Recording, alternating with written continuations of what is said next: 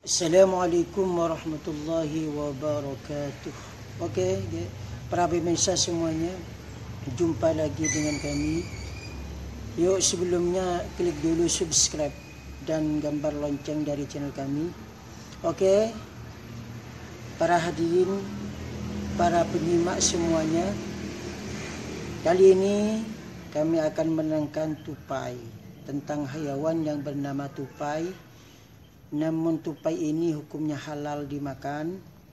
Habitat dan kehidupan tupai. Ada dua jenis tupai yang banyak kita kenal. Yaitu tupai beruyuk dan tupai moncong. Moncong kecil. Kedua nyaris sama, bedanya ujung ekor. Tupai mengalami tupai beruyuk berambut lebih lebat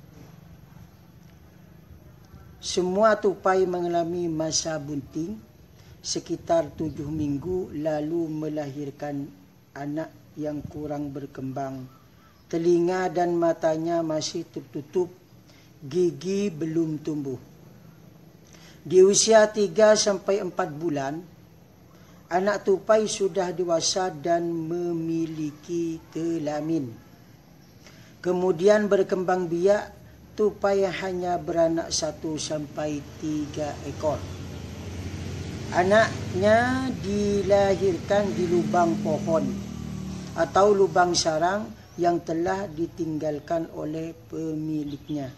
Beberapa hari sebelum melahirkan, sarangnya dilapisi dengan dedaunan.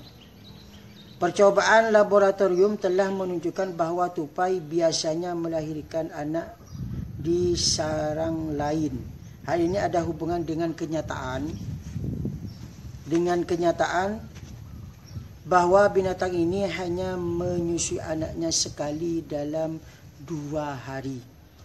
Berbeda dengan kebiasaan mamalia kecil lainnya yang hidup di dalam sarang.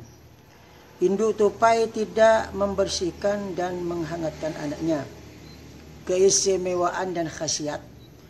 Daging tupai bermanfaat menyembuhkan penyakit jiwa stres yang disebabkan kesedihan yang berlarut-larut. Dasar hukum kehalalannya dasar hukumnya. Dalam kitab Hayatul Hayawan juz 2 halaman 35 dan kitab At-Tibyan Sahifah halaman 72 demikianlah